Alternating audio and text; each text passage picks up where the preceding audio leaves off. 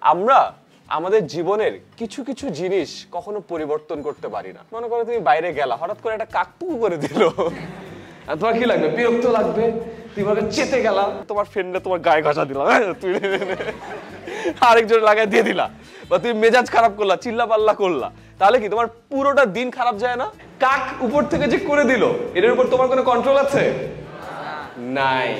কিন্তু ওইটা করার পরে তোমার রিয়াকশন কেমন হবে? এটার উপর তোমার কন্ট্রোল আছে? আছে। তোমার রিয়াকশনের উপরে ডিপেন্ড করবে তোমার বাকি দিনটা কেমন যাবে। একটা ছোট্ট সিনারিও চিন্তা করো। একটা বাসায় বাবা ছিল, মা ছিল, আর তাদের এক ছোট্ট মেয়ে। সকালবেলা নাস্তা করছে। তো বাবা খাচ্ছে, মেয়ে খাচ্ছে। হঠাৎ করে ছোট্ট মেয়ে, ছয় বছর বয়স, পাউরুটি নিতে গেছে। নিতে যেয়ে বাবার সামনে যে চায়ের কাপটা ছিল না, চায়ের কাপে হাত লাগাই দিছে। চায়ের কাপ বাবার একদম সুন্দর ধবধবা শার্টে পরে গেছে। বাবা তো চেতে গেছে কি করল এটা? আমার সাদা শার্ট! বুঝো তুমি। কি করছ এটা? ছোট্ট মেয়ে ছয় বছর বয়স। ও তো ভয় পেয়ে গেছে বুঝছ? ভয় পেয়ে থাকে না যে কিছু একটা করে কাপাকাপি শুরু হয়ে যায় না? তো কাপাকাপি শুরু হয়ে গেছে। বাবা বলো তোমাকে আমি কিচ্ছু শিখাইতে পারলাম না। তো বাবা গেছে শার্ট চেঞ্জ করতে। শার্ট চেঞ্জ করে আসছে আসে দেখে মেয়ে এখনও কাঁদতেছে। মেয়ের মাকে বলতে তুমি কি শিখাইছো ওকে? তোমার মেয়ে খারাপ। আমার ভালো করলে আমার মেয়ে, খারাপ করলে তোমার মেয়ে। মাকে বলে, তুমি দেখতে পারো না? বলে যে, আরে বাবা, তুমি কাঁদাইছো, আমি কি করব? তারপরে বলে, তোমার মেয়ে তো স্কুলের বাস মিস করছে। তো তখন বাবা বলে, আমি কি করব? তুমি নিয়ে যাবা স্কুলে। তো বাবা আবার চেতে গেছে। এখন তাড়াতাড়ি করে কাপড় ব্যাগটা গুছায় মেয়েকে নিছে। নিয়ে স্কুলে নামাইছে। ইউজুয়ালি মেয়েকে যখন স্কুলে নামায়, মেয়ে বাবা বলে যে বাবা, খোদা হাফেজ। এবার মেয়ে গাড়ি থেকে নামে দৌড়, যে বাবার থেকে এভাবে দূরে যাওয়া যায়। বাবা অফিসে গেল। অফিসে যে খেয়াল করল, এই যে হুড়োহুড়ি করছে না, এই হুড়োহুড়ি করার সময় সে ভুল করে তার যে ল্যাপটপের ব্যাগ ছিল, তার ল্যাপটপের ব্যাগটাই নিতে ভুলে গেছে। এটা বাসায় রেখে আসছে। তার পুরো কাজ কিসের ভিতরে? ল্যাপটপ যদি বাসায় থাকে, সে অফিসে কি করবে? মুড়ি খাবে। সে আবার বউকে কল করছে।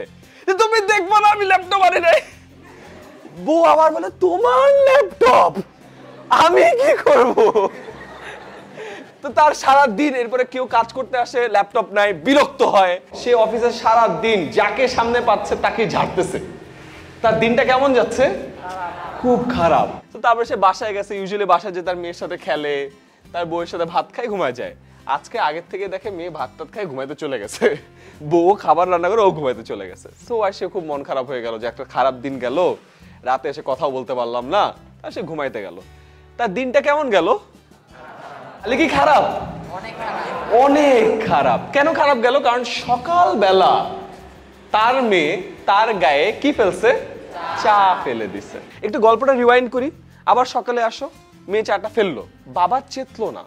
না চেতে বলল আরে আমি আমার বাবার গায়ে কত চা ফেলছি? মেয়ে তো খুব খুশি আরে বাবার গায়ে চা ফেলছি। সে স্কুল বাসে যায় বন্ধুদেরকে বলছে জানিস আজকে কি করছি? চা ফেলছি। সে বাবা সুন্দর করে শার্ট চেঞ্জ করছে। বাবা আসলো, নাস্তা শেষ করল, ল্যাপটপের ব্যাগ নিল অফিসে গেল, কাজটাও করল, বাসায় আসলো, এসে মেয়ের সাথেও খেললো ওয়াইফের সাথে বসে ডিনার করল, ঘুমাতে গেল। তার দিনটা কেমন গেল? ভালো গেল। আগের গল্পে খারাপ গেছে না অনেক? পরবর্তী গল্পে কি অনেক ভালো গেছে না? কিন্তু তোমরা তো একটু আগে বললা যে বাবার দিনটা খারাপ গেছে, তার কারণ হলো মেয়ে চা ফেলছে। এই গল্পেও তো চা ফেলছিল। ওই গল্পেও চা ফেলছে। বাট মেয়ে চা ফেলার পরেও তো পরবর্তী গল্পে বাবার দিনটা অনেক ভালো গেল। তাহলে কি প্রবলেম ছিল কি মেয়ের চা ফেলা? না প্রবলেম কি ছিল বাবার বহিঃপ্রকাশ রিয়াকশন তাই না? অলওয়েজ মনে রাখবা, জীবনে টেন পার্সেন্ট জিনিস এমন হবে যেটার উপর তোমার কোনো কন্ট্রোল থাকবে না। যেমন তোমার গায়ে চাপ ফেলে দিচ্ছে কিছু আছে করার? না। কিন্তু এই মুহূর্তে তোমার রিয়াকশন কেমন হবে সেটার উপর ডিপেন্ড করবে তোমার ওই দিনের বা তোমার জীবনের বাকি নব্বই শতাংশ কেমন হবে। বাবার রিয়াকশন যখন খারাপ ছিল, নব্বই শতাংশ কেমন গেছে? খারাপ গেছে। বাবার রিয়াকশন যখন ভালো ছিল, বাকি নব্বই শতাংশ দিন কেমন গেছে?